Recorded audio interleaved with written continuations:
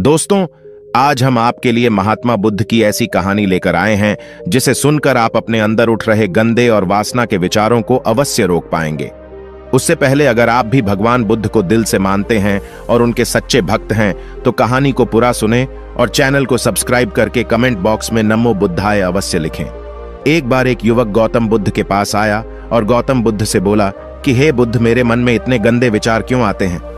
मैं नहीं चाहता कि मेरे मन में गंदे विचार आए, पर मेरे मन में हमेशा काम वासना के विचार चलते रहते हैं, और मैं इनके बारे में सोच सोच कर बहुत परेशान हूँ। मेरी ऊर्जा और समय यह सब सोचने में ही नष्ट हो जाता है, और इन सब के विचारों की वजह से मैं कभी भी शांत नहीं रह पाता, और मैं हमेशा ही स्त्रियों को देखकर मोहित हो जाता हूँ। अपने आप को रोक ही नहीं पाता। बुद्ध मुस्कुराए, और उन्होंने उस युवक से पूछा, क्या तुम्हें पता है यह काम वासना होती क्या है? फिर उसने ने उत्तर दिया और कहा बुद्ध मैं यह तो नहीं जानता कि काम वासना होती क्या है। पर हाँ, ये जो भी है बहुत बुरी चीज़ है। फिर बुद्ध ने उस युवक से कहा कि सबसे पहले तो तुम्हें यह समझना है कि प्राकृतिक रूप से जो भी चीज़ हमारे अंदर है, वह बुरी नहीं है। हमारे जीवन में उसकी कुछ ना कुछ ज़रूरत है। वासना कोई बुरी बात नहीं है। यह तो हमारे मन की एक भावना है जो हमें किसी ना किसी चीज़ की कमी का एहसास करवाती है। और फिर हम उस चीज़ को पाने के लिए उस चीज़ की तरफ़ आकर्षित हो जाते हैं। जैसे अगर तुम्हारे पास धन की कमी है तो तुम में धन पाने की वासना उत्पन्न हो जाएगी तो वासना कुछ और नहीं। बस एक प्रकार की कमी है, जो कि एक प्रकार की ज़रूरत का एहसास है, और जब यह ज़रूरत शारीरिक हो तो हम इसे काम वासना का नाम देते हैं। युवक ने गौतम बुद्ध को कहा कि, बुद्ध, मुझे काम वासना का मतलब तो समझ में आ गया, पर आप मुझे यह बताइए कि यहाँ आती कहाँ से हैं और कैसे आती है? गौतम बुद्ध ने कहा कि, काम वासना कहीं से आती नहीं है यह तो हमारे अंदर ही होती है और इसका होना तो ज़रूरी भी है, तभी तो मानव जाति का विस्तार होगा। युवक ने कहा, जब यह हमारे अंदर ही है और ज़रूरी भी है तो फिर लोग इसे गलत क्यों बोलते हैं? बुद्ध ने कहा कि यही तो समस्या है। लोगों ने काम वासना को गलत तरीके से सोच लिया है, इसे छुपाने की, दबाने की कोशिश करते हैं। काम वासना गलत नहीं है, बल्कि काम वासना का गलत तरीके से प्रयोग करना गलत बात है। लोग जिससे प्रेम करते हैं, बस उसी के लिए जीने लग जाते हैं। उसे पाना ही अपना मार्ग बना लेते हैं और उसी के बारे में हमेशा सोचते रहते हैं। पर यह सब गलत है। बुद्ध ने युवक से कहा, क्या तुम्हें पता है, जानवरों में भी काम वासना होती है? युवक ने उत्तर दिया, हाँ, बुद्ध जानवरों में भी काम वासना होती है, क्योंकि जानवर भी तो आखिर अपने वंश को आगे ले जाएँगे। बुद्ध ने कहा तो फिर हम जानवरों के काम वासना को गलत क्यों नहीं कहते? युवक ने कहा, मुझे नहीं पता, महात्मा। आप ही मुझे बताइए। गौतम बुद्ध ने कहा कि जानवर अपनी काम वासना का प्रयोग आनंद प्राप्ति के लिए नहीं करते। वह तो सिर्फ़ संतान उत्पत्ति करने के लिए काम वासना का उपयोग करते हैं। जानवरों को प्रकृति ने इतनी समझ नहीं दी कि वह काम वासना को अपने सुख का आधार बना सके। मनुष्य अपनी समझ के बल बूते पर प्रकृति में पाई जाने वाली प्रत्येक वस्तु को अपने सुख के लिए प्रयोग करता है। हम इंसानों ने ही काम वासना को अपने सुख का साधन बना लिया है, जबकि प्रकृति ने तो हमें अपने वंश को आगे अग्रसर करने के लिए दिया था, लेकिन इंसानों ने इसे अपने जीवन का परम लक्ष्य बना रखा है, और इस तरह से काम वासना का आ जाना गलत है। युवक ने पूछा, महात्मा जी, ये काम वासना हम पर हावी क्यों होती है? क्यों यह हमेशा क्यों आ जाती है? तब गौतम बुद्ध ने कहा कि सुनो, अब जो मैं तुम्हें बताऊँगा, उसे तुम ध्यानपूर्वक सुनना। काम वासना का सारा खेल तुम्हें समझ आ जाएगा। तुम्हें तुम्हारे सारे सवालों का जवाब मिल जाएगा, बस तुम्हें ध्यान से सुनकर समझना है। एक बार की बात है, एक आश्रम में गुरु और उनके शिष्य रहा करते थे, जो रोज़ाना आश्रम के बाहर स्थित गाँव में भिक्षा लेने के लिए जाते थे। उस आश्रम का एक शिष्य, जिस गाँव में भिक्षा लेने जाता था, उस रास्ते में एक नदी मिलती थी। एक दिन उसने देखा कि एक युवक वृक्ष के पीछे छिपा है। वह उस युवक के पास गया और उससे जाकर बोला, भाई, तुम इस वृक्ष के पीछे छिपकर क्या देख रहे हो? युवक ने कहा, अरे, तुझे नहीं दिख रहा क्या कि मैं क्या देख रहा हूँ? तब शिष्य ने नदी की तरफ़ देखा तो वहाँ पर कुछ युवतियाँ पानी भर रही थीं। तब उसने उस युवक से कहा, अरे भाई, वहाँ पर तो युवतियाँ पानी भर रही हैं, इसमें छिपकर देखने वाली क्या बात है? तब वो युवक शिष्य की तरफ़ देखकर उससे कहता है, अरे, पागल तुम्हें दिखाई नहीं दे रहा क्या कि कैसे यह परियाँ नदी से पानी निकाल रही है? जरा उनकी अदाओं को तो देखो, उनके कोमल शरीर को देखो। उनकी पतली कमर मटके को उठाते समय बाल खाती है, और उनके बाल उनकी कमर पर कैसे लहरा रहे हैं? मानो सुंदरता बिखर रही हो। शिष्य ने फिर नदी की तरफ़ देखा, और इस बार वह इसे देखता ही चला गया। अभी तक तो कुछ भी नज़र नहीं आ रहा था, और वह बिल्कुल निर्भय था। उसे किसी भी बात का कोई डर नहीं था, लेकिन अब वो छिपने लगा, और उन युवतियों को देखने लगा। और जब वो छिपकर उन युवतियों को देख रहा था, तभी वह अचानक अंदर से काँप गया और उसने कहा कि, यह मैं क्या कर रहा हूँ? मैं जो कर रहा हूँ वह सही नहीं है। मुझे यहाँ से चले जाना चाहिए। और फिर वह जल्दी से वहाँ से चला गया।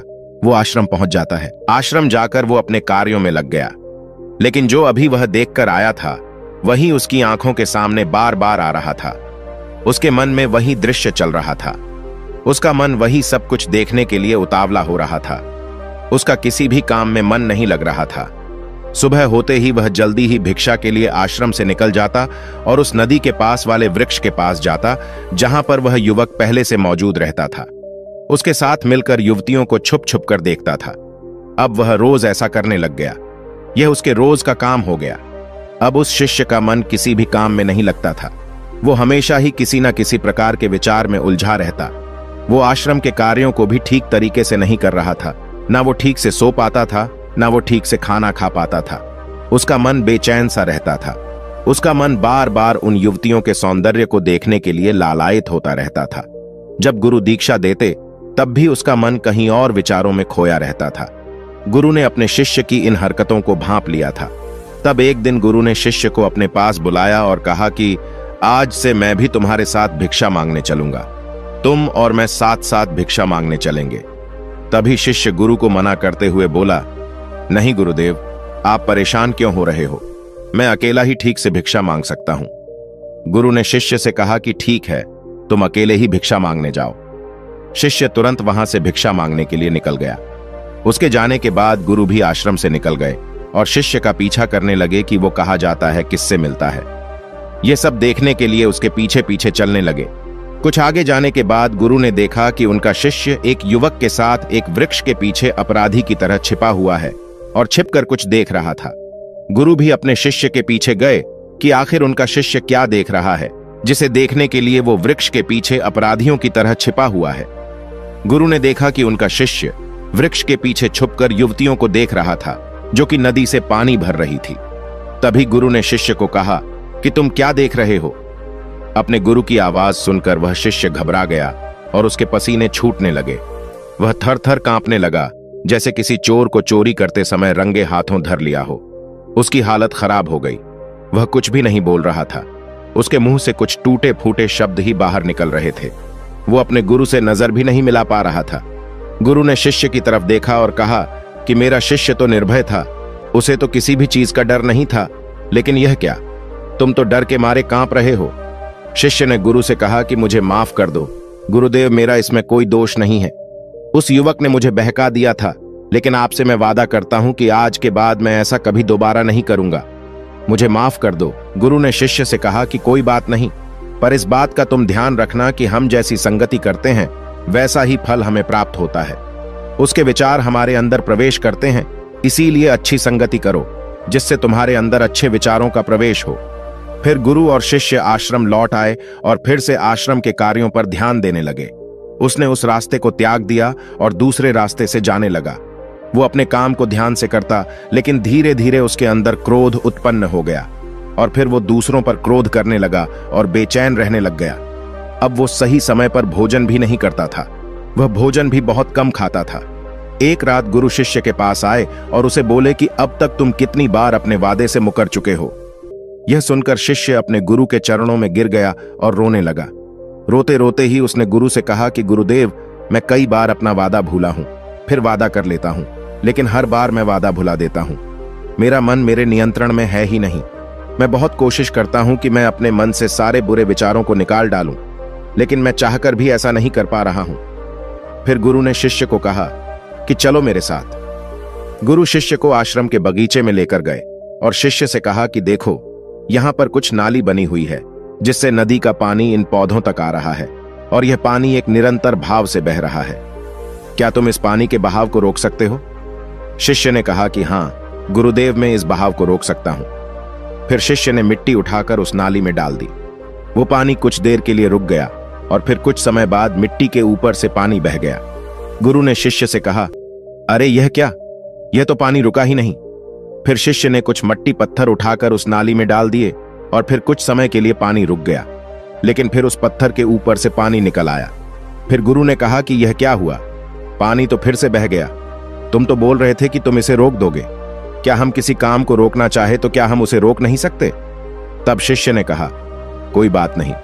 गुरुदेव, मैं इस पानी को तो आपको रोक के दिखाऊँगा। वह फिर से एक भारी सा पत्थर लेकर आया और उसे नाली पर डाल दिया और पानी रुक गया। तब गुरु से कहा कि देखा गुरुदेव, मैंने कहा था, ना कि पानी को मैं रोक दूँगा। मैंने पानी को रोक दिखाया। आपकी बात मैंने पूरी कर दी। गुरु मुस्कुराए और बोले अच्छा जरा ध्यान से देखो पा, ये रुक गया क्या? वो तो पीछे की नाली से बाहर आ गया और अगल बगल से बह रहा है और ध्यान से देखो, इस पत्थर के आगे भी आ गया और यह पानी अपना रास्ता बदलकर फिर से आगे की तरफ़ बह जाएगा और फिर कुछ देर बाद ऐसा ही हुआ। फिर गुरु ने शिष्य को समझाया कि तुम्हारे साथ भी तो ऐसा ही चल रहा है। तुम बार बार प्रयास कर रहे हो, पर हर बार तुम्हारा प्रयास टूट रहा है, और यह हमेशा टूटता ही रहेगा। तुम कितना भी मिट्टी पत्थर रख लो, लेकिन पानी तो अपना रास्ता बना ही लेगा।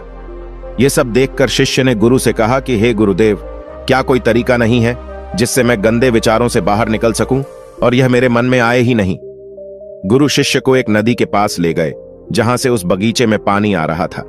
गुरु ने शिष्य से कहा, वो पानी इसी नदी से जा रहा है। अगर हम यही से उस रास्ते को बंद कर दें, जहाँ से पानी बगीचे में जा रहा है। अब क्या हम पानी को रोक नहीं सकते? शिष्य ने कहा कि हाँ गुरुदेव, अवश्य ऐसा हो सकता है। मैं इस पानी को यहीं से बंद कर देता हूँ। तब आगे की नाली में पानी जाएगा ही नहीं, और फिर बगीचे में पानी जाएगा ही नहीं। फिर शिष्य ने नदी से जाने वाले रास्ते को बहुत मेहनत करके पत्थर और मिट्टी डाल डालकर बंद कर दिया, और गुरु से कहा कि, गुरुदेव, मैंने पानी को बंद कर दिया है। अब यह पानी बगीचे में जाएगा ही नहीं। तब गुरु ने कहा कि अगर पानी बगीचे में नहीं जाएगा तो पौधों को पानी कहाँ से मिलेगा? उन पौधों को तो पानी की आवश्यकता है, और उन पौधों में कुछ पौधे तो ऐसे हैं जिनको रोज पानी की आवश्यकता है। वह तो मुरझाकर मर ही जाएँगे, उनका क्या होगा? पानी तो हमें खोलना ही होगा। शिष्य ने गुरु की बात सुनकर वापस नदी से जाने वाले पानी का रास्ता खोल दिया। तब गुरु ने शिष्य से पूछा कि अगर हम इस नदी के पूरे पानी को बगीचे की तरफ़ कर दे तो क्या होगा? तब शिष्य ने जवाब दिया कि गुरुदेव वहाँ पर जितने भी पौधे हैं, वो गलकर नष्ट हो जाएँगे, वहाँ पर कुछ नहीं बचेगा। फिर गुरु मुस्कुराए और बोले, तुम इस बात को समझो कि हमें किसी भी चीज़ को रोकना नहीं है, बस हमें हमेशा संतुलन बनाए रखना है। कम पानी से भी पौधे नष्ट होते हैं और ज़्यादा पानी से भी पौधे नष्ट होते हैं। हमारा जीवन संतुलन से ही चलता है। गुरु ने शिष्य से कहा, कि अगर मैं तुम्हें कहूँ कि तुम आम के बारे में मत सोचो तो तुम्हारे मन में सबसे पहले किसका चित्र आएगा? शिष्य ने कहा कि गुरुदेव, मेरे मन में तो पहला चित्र आम का ही आएगा। गुरु ने कहा कि जब हम गंदे विचारों को ज़बरदस्ती रोकने का प्रयास करते हैं तो वह और मजबूती के साथ हमारे अंदर प्रवेश करते हैं, हमारे अंदर उठते हैं। इसीलिए हमें उन्हें कभी भी दबाने की कोशिश नहीं करनी चाहिए। फिर गुरु ने शिष्य को समझाते हुए कहा कि हमारे गंदे विचार बुरे लोगों की संगति करने की वजह से भी आते हैं। कई बार क्या होता है कि कामुकता हमारे अंदर होती नहीं है, लेकिन कुछ अश्लील लोगों के साथ रहने की वजह से ये हमारे अंदर हावी हो जाती है। फिर शिष्य ने कहा कि गुरुदेव आप सही कह रहे हैं। मैं अपने मार्ग से भटक गया था। फिर वह शिष्य उस रात बहुत ही चैन की नींद सोया। सुबह अपने कार्यों को पूरे मन से किया और फिर सुबह वो भिक्षा लेने के लिए उसी रास्ते से गया जहाँ वह युवक आज भी वृक्ष के पीछे छुपकर उन युवतियों को देख रहा था। वह शिष्य नदी पर गया जहाँ वह युवतियाँ पानी भर रही थीं। उसने उनसे पानी मांगा। उनमें से एक ने उसे पानी पिलाया और उस सन्यासी शिष्य के चरण छुए। शिष्य ने उसे आशीर्वाद दिया कि तुम्हारा कल्याण हो। उसका मन सकारात्मक ऊर्जा से भर गया। उसके चेहरे पर मुस्कान आ गई थी, जैसे कि उसे कुछ खोया हुआ वापस मिल गया हो। वह वापस अपने रास्ते से जाने लगा। तभी पीछे से वह युवक आ गया जो वृक्ष के पीछे छुपा हुआ था। वह शिष्य के पास आया और बोला कि क्या बात है? आज तो तुमने नज़दीक से दर्शन कर लिए, तुम तो मुझसे भी आगे निकले। तब शिष्य ने कहा कि हम हमेशा दूसरे के दर्शन करने में ही व्यस्त रहते हैं, अपने दर्शन कर ही नहीं पाते। तुम कब तक इस वृक्ष के पीछे छुपते रहोगे? किसी को पसंद कर लो, उससे बोल दो, अगर वो भी तुम्हें पसंद करती है तो शादी कर लो, और उससे पहले तुम कुछ बन जाओ, अपने आप को पहचान लो, ऐसे अपना समय बर्बाद मत करो। फिर वह युवक रोज उससे मिलने लगा, और उस युवक ने नदी पर जाना त्याग दिया। और फिर वो युवक अपने जीवन में कुछ बनने के लिए संघर्ष करने लगा। तो तुमने देखा, संगति का असर क्या होता है? अपनी संगति बदलो, अपने विचार बदलो। बुद्ध ने युवक से पूछा कि क्या तुम्हें तुम्हारे सारे सवालों का जवाब मिल गया? तब युवक ने कहा कि हाँ, महात्मा जी, आपका बहुत बहुत धन्यवाद। तब गौतम बुद्ध ने युवक से कहा कि जब तुम्हारे मन में गंदे विचार आए, तब आप अपने आप को दोषी मत मानो। केवल उन विचारों में संतुलन बनाने का प्रयास करो और अपने आप को पहचानो। धन्यवाद।